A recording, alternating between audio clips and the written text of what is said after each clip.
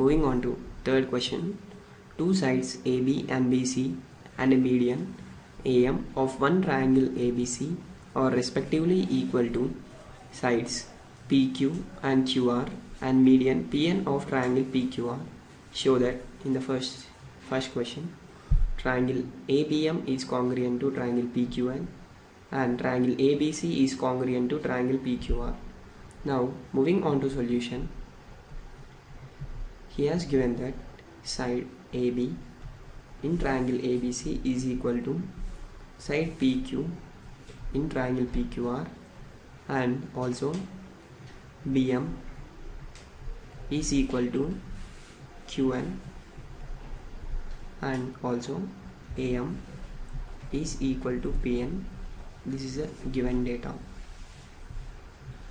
Now in the first question he asked us to prove the congruency of triangle ABM and triangle PQN so now let us consider the triangle ABM and triangle PQN in this.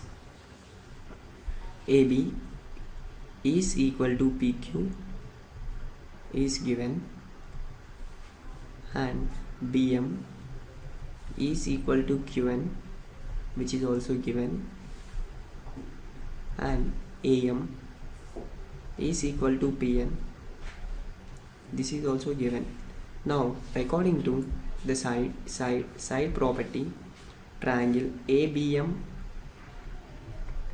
is congruent to triangle PQN.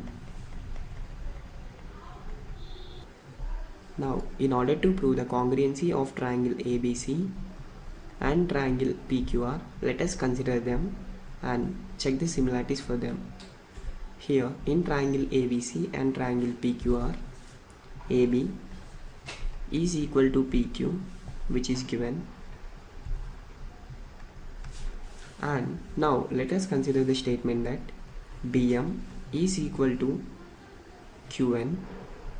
Now multiplying this equation by 2 on both sides we get 2Bm is equal to 2Qn.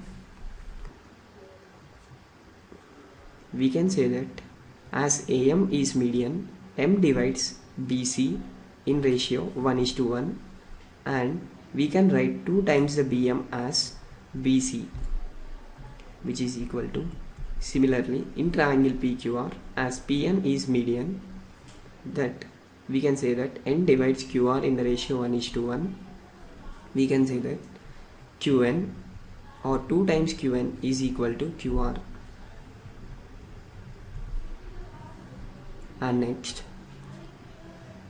we can say that angle B is equal to angle Q as we prove the congruency of triangle ABM and triangle PQN and thereby applying the concept that corresponding angles of two congruent triangles are equal.